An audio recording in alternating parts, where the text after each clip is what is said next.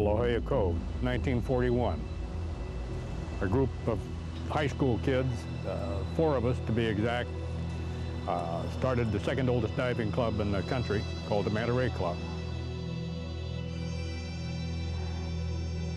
All these cliffs here were covered with abalone.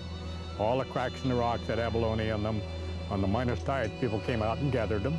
Uh, same was true of lobster. We found them in the tide pools here. The California black sea bass uh, used to swim around the edges of the kelp bed or through the kelp beds. I've personally seen them here the size of Volkswagens. I've seen them up to, oh, at least 300 pounds here. Uh, white sea bass were the same way. They'd come in in school.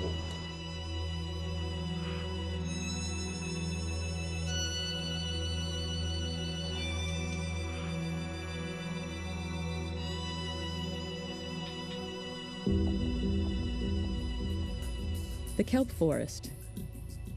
It may appear to be thriving at the surface, but a different reality lies below. Like so many other ecosystems today, kelp forests have seen a dramatic decline in animal size and abundance. A number of species are ghosts, no longer filling their former ecological roles. Why have so many species virtually disappeared from the kelp forest? We know some answers, Kelp forests themselves are massively impacted by the oceanographic climate.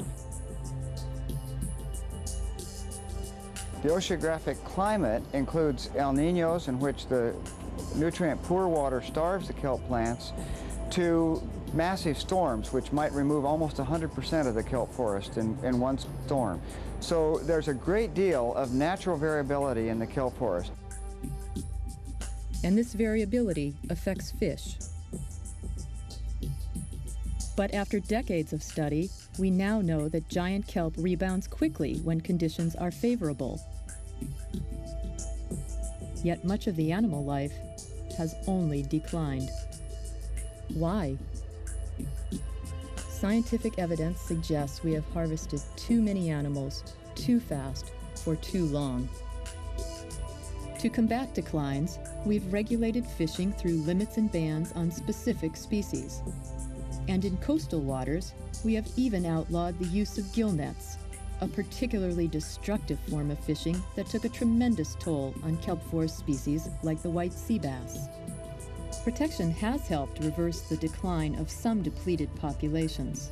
Divers are beginning to see giant sea bass once again in kelp forests around the Channel Islands off California.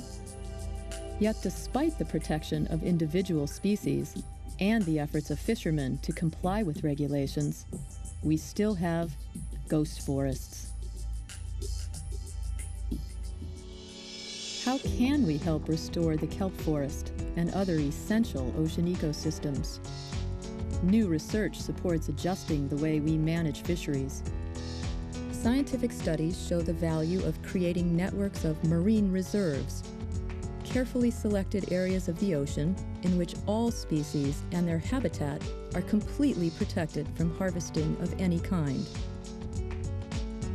In existing no-take reserves, fish abundance nearly doubled in as little as two to four years.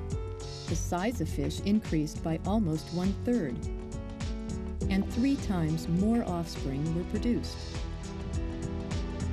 As sea life increases in protected areas, it naturally spills over to adjacent areas where fishing can take place. Not all people support this course of action.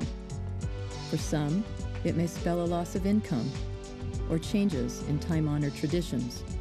But experts believe there will be far greater long-term costs if we continue to manage individual species while ignoring the ecosystems that sustain them.